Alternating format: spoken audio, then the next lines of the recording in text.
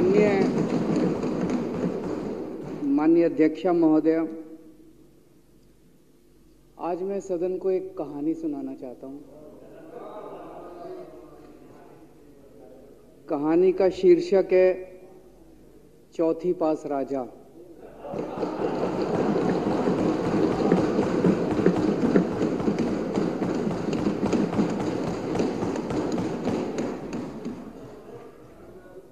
आपने बचपन में राजा रानी की बहुत कहानियाँ सुनी होंगी। मेरी कहानी में रानी नहीं है।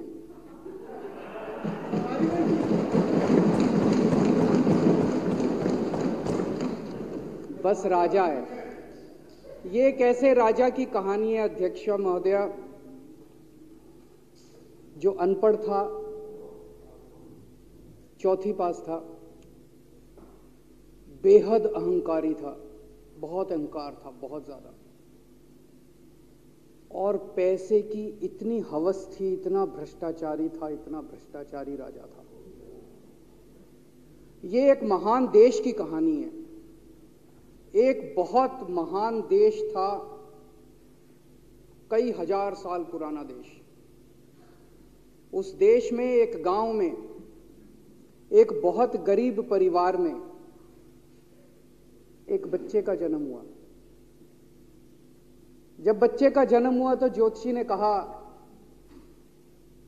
गाँव में ज्योतिषी होते हैं, आते हैं, वो पत्री बनाते हैं। ज्योतिषी ने कहा, माई, तेरा लड़का बड़ा होके बहुत बड़ा सम्राट बनेगा। माई को यकीन नहीं हुआ मेरा, इतने गरीब हूँ मैं, कहाँ से मेरा बेटा सम्राट बनेगा? तो उसने कहा, नहीं, तेरे बेटे के ग्रह बताते हैं, तेरा बेटा बहुत बड़ा सम्राट बनेगा। बेटा धीरे धीरे बड़ा होने लगा। स्कूल, गाँव का ही स्कूल था, स्कूल जाता था। उसका पढ़ने वढ़ने में मन नहीं लगता था। तो चौथी के बाद उसने किसी तरह से चौथी करी, चौथी के बाद उसने स्कूल छोड़ दिया। गाँव के पास एक रेलवे स्टेशन था।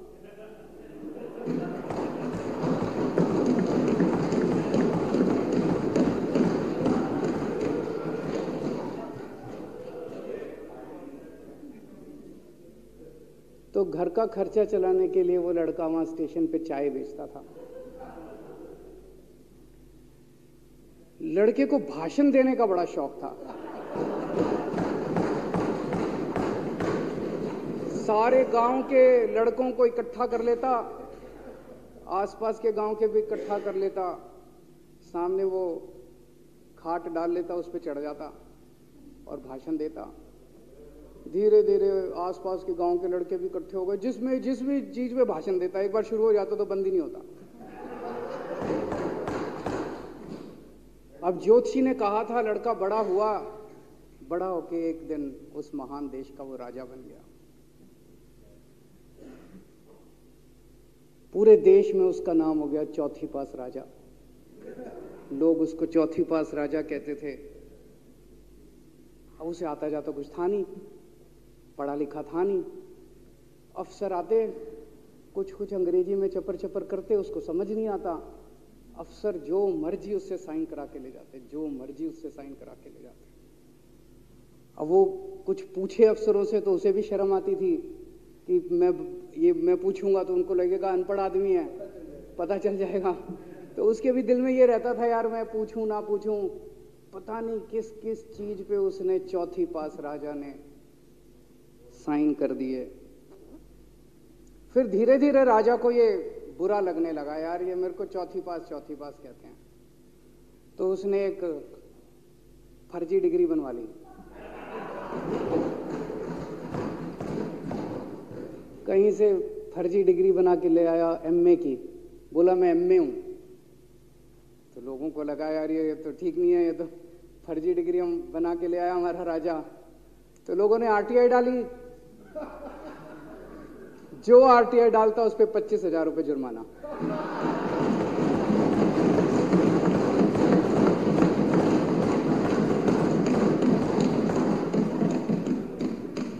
आपके नेता की बात नहीं कर रहा। आप लोग भी हंस, आप लोग भी हंस सकते हो।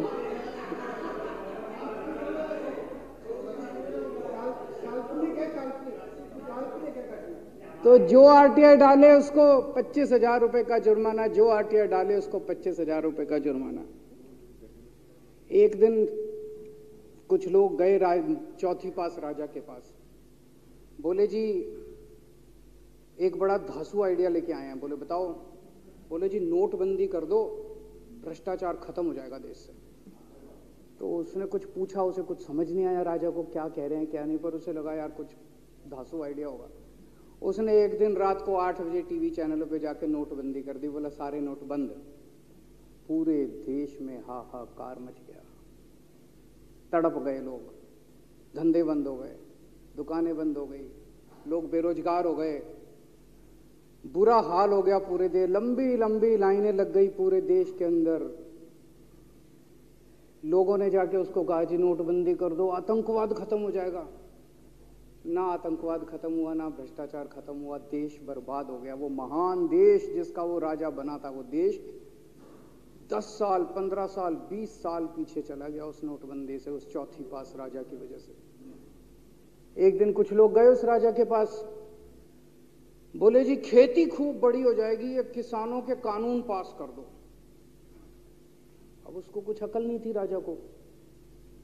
अनपढ़ राजा था। उसने साइन कर दिए। तीन काले कानून पास हो गए किसानों के। पूरे देश के किसान सड़कों पे जगह जगह मोर्चे, साढ़े सात सौ किसानों ने, किसानों की मौत हो गई एक साल के अंदर।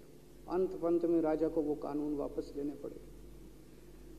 धीरे धीरे देश की समस्याएँ बढ़ती गई बढ़ती गई बढ़ती गई, क्योंकि राजा एरे गहरे इससे पहले एक और राजा आया था, मोहम्मद बिन तुगलक।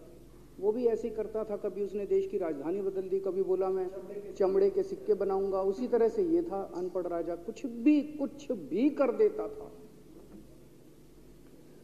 अब राजा को एक दिन लगा, यार, मैं तो राजा बन गया, पता नहीं कितने दिन रहूँगा।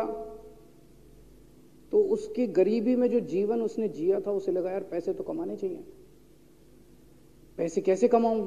पैसे कमाऊँगा तो जनता में छवि खराब होगी तो उसने अपने एक दोस्त को बुलाया। और उस दोस्त को बोला कि ऐसा करते हैं कि मैं तो राजा हूँ, सारे सरकारी ठेके तेरे को दिलाऊँगा, सारी कंपनियाँ तेरे को दिलाऊँगा, सरकारी पैसा तेरे को दिलाऊँगा। नाम तेरा, पैसा मेरा।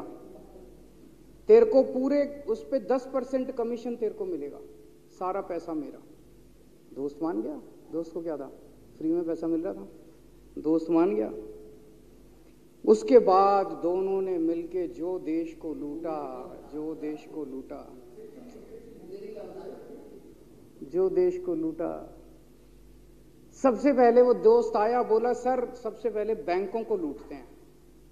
तो बोला, वो कैसे यार? बैंकों को लूटेंगे तो ये तो ठीक नहीं है। बोला, नहीं, ऐसे करते हैं। आप किसी बैंक के चेयरमैन को बुलाओ। उसको बोलो कि वो मेरे को लोन देगा। तो बोला लोन देगा तो वापस करना पड़ेगा। बोला, वापस कौन करेगा? वापस थोड़ी करना है। आप राजा हो। वापस वापस नहीं करना। लोन दिला दो बस। तो राजा ने एक बैंक के चेयरमैन को बुलाया। बोला, इसको लोन दे। तो वो चेयरमैन की सिट्टी पिट्टी गुम हो गई। यार, मैं तो मर जाऊँगा, फंस जाऊँगा। वो भाग गया। तो फिर उन्होंने ढूंढ ढांड के एक ऐसा चेयरमैन चुना जो कि सरासर भ्रष्टाचारी, जिसके ऊपर दस फाइलें खुली हुई, जिसके ऊपर दस केस चल रहे उसको बुलाया। बोला, देख, तेरे को चेयरमैन बना रहे हैं। अब तू दस हज़ार करोड़ रुपए दे दे इसको, नहीं तो तेरे को जेल भेजेंगे। जेल जाना है कि पैसे दे रहा है? उसने कहा माई माए बाप, मैं जो कहोगे, जहाँ कहोगे, साइन कर दूँगा। उसने दस हज़ार करोड़ रुपए का लोन उसके दोस्त को दे दिया। ऐसे करते करते लाख, दो लाख करोड़ रुपए इन्होंने बैंकों से लूट लिए। राजा ने, चौथी पास राजा ने और उसके दोस्त ने मिलकर दो ढाई लाख करोड़ रुपए बैंकों से लूट लिए। अब बैंकों से पैसा लूटने के बाद उन्होंने देश को खरीदना चालू किया। सबसे पहले उन्होंने देश के एयरपोर्ट खरीदे। पहले छह एयरपोर्ट खरीदे, फिर उन्होंने बिजली कंपनियाँ खरीदी, फिर उन्होंने बिजली के दाम बढ़ा दिए पूरे देश के अंदर। फिर उन्होंने सी पोर्ट खरीदने चालू कर दिए, फिर उन्होंने कोयले खदाने ले ली, फिर इन्होंने पुलिस को भेज भेज के जो लोगों की कंपनियाँ थी, प्राइवेट लोगों की कंपनियाँ, या बंदूक रख रख के उनकी कंपनियाँ छीन ली राजा ने और उसके दोस्त ने। हाहाकार मच गया पूरे देश के अंदर। इतनी महँगाई हो गई, इतनी महँगाई हो गई पूरे देश में। पहले गैस चार सौ रुपए सिलेंडर होती थी चौथी पास राजा के आने के बाद ग्यारह सौ रुपए सिलेंडर हो गई पहले पेट्रोल इकहत्तर रुपए होता था, सत्तानवे रुपए हो गया। पहले डीजल सत्तावन रुपए होता था, नब्बे रुपए लीटर हो गया। जब पेट्रोल के दाम बढ़ गए, डीजल के दाम बढ़ गए तो सारी चीज़ों के दाम बढ़ गए देश के अंदर। हाहाकार मच गया। सब चीज़ों पे इसने और इसके दोस्त ने कब्जा दूध पहले छियालीस रुपए होता था, छियासठ रुपए लीटर हो गया। बच्चों को माए दूध पिलाने लायक नहीं बची। घरों के अंदर छोटे छोटे बच्चों के दूध छीन लिए इसने राजा ने। सरसों का तेल नब्बे रुपए लीटर होता था, दो सौ चौदह रुपए हो बताओ। धीरे धीरे पूरे देश में हाहाकार मच गया। लोग अब राजा के खिलाफ आवाज़ उठाने लगे। लोग उसके खिलाफ बोलने लगे तो राजा ने कह दिया, जो मेरे खिलाफ बोलेगा, पकड़ के जेल में डालो। एक के बाद एक एक के बाद एक, राजा ने लोगों को पकड़ पकड़ के जेल में डालना शुरू कर दिया। किसी ने राजा का कार्टून बना लिया, उसको भी जेल में डाल दिया। किसी ने राजा का नाम गलत ले दिया, उसको भी जेल में डाल दिया। किसी टीवी चैनल वाले ने राजा के खिलाफ लिख दिया, उसको भी पकड़ के जेल में डाल दिया। किसी जज ने राजा के खिलाफ कोई ऑर्डर कर दिया, उसको भी पकड़ के जेल में डाल दिया। ना जजों को छोड़ा, ना पत्रकारों को छोड़ा, ना मीडिया को छोड़ा, ना व्यापारियों को छोड़ा, ना उद्योगपतियों को, किसी को नहीं छोड़ा। राजा ने पकड़ पकड़ के उसने चौथी पास राजा ने सबको जेल में डालना चालू कर दिया। एक महान देश कहाँ से कहाँ पहुँच गया। उसी देश के अंदर एक छोटा सा राज्य था। उस राज्य का एक मुख्यमंत्री था।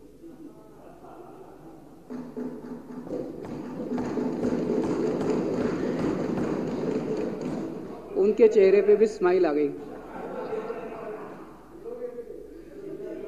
उनके चेहरे पे भी उम्मीद की किरण छा गई। वो मुख्यमंत्री अपने लोगों का खूब ख्याल रखता था। वो मुख्यमंत्री कट्टर ईमानदार था।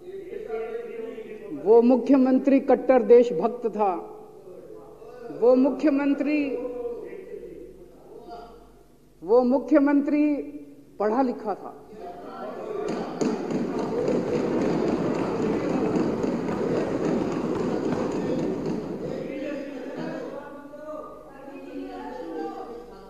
उस मुख्यमंत्री ने अपने लोगों को महँगाई से छुटकारा दिलाने के लिए बिजली मुफ़्त कर दी। भाई साहब उसके बाद तो चौथी पास राजा पागल हो गया। उसने बुला के जो हड़काया उस मुख्यमंत्री को कि तेरी हिम्मत कैसे हुई? उसे लगा राजा ने तो सारी बिजली कंपनियों पे कब्जा कर रखा था। उसे लगा अगर ये बिजली मुफ़्त करने लग गया तो बाकी देश में तो मेरा बेड़ा गर्क मेरी बिजली कंपनियाँ लुट जाएँगी ऐसे कैसे चलेगा? उसने उसको कहा, खबरदार, तूने बिजली मुफ़्त के। मुख्यमंत्री नहीं माना। धीरे धीरे उस मुख्यमंत्री ने अपने गरीबों के स्कूल ठीक करने चालू कर दिए।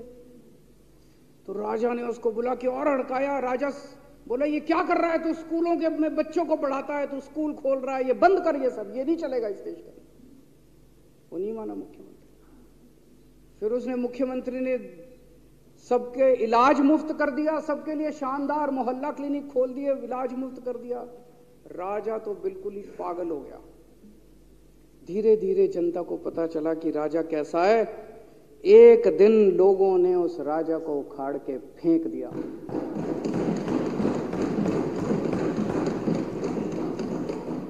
और लोगों ने एक किसी ईमानदार और देशभक्त आदमी को वहाँ बिठा दिया और उनकी सरकार आ गई।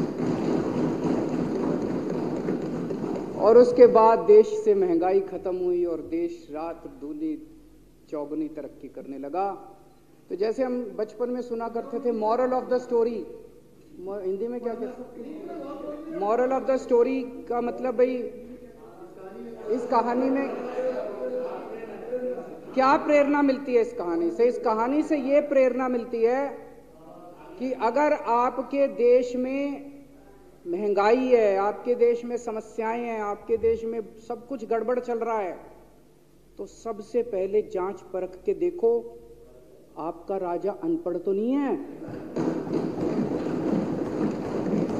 अगर आपके देश में सब गड़बड़ चल रहा है, बेरोजगारी है बहुत सारी समस्याएँ जरा देखो राजा। आपके राजा को कोई दोस्त तो नहीं है? अगर है तो सबसे पहले अपने राजा को उखाड़ के फेंको नहीं तो आपकी समस्याओं का कोई समाधान नहीं होगा। आप, आपकी आपकी समस्याओं का कोई समाधान नहीं होगा। वो पढ़ा करते थे अंधेर नगरी चौपट राजा सवा शेर बाजी सवा शेर खाजा। बहुत बहुत शुक्रिया।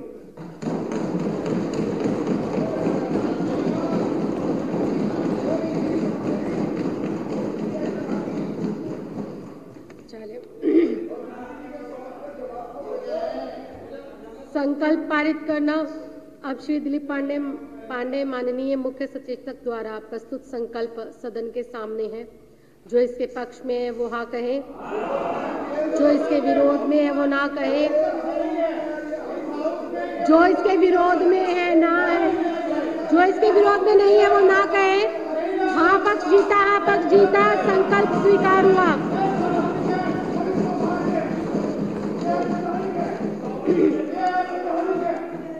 सदन को सदन को अनिश्चित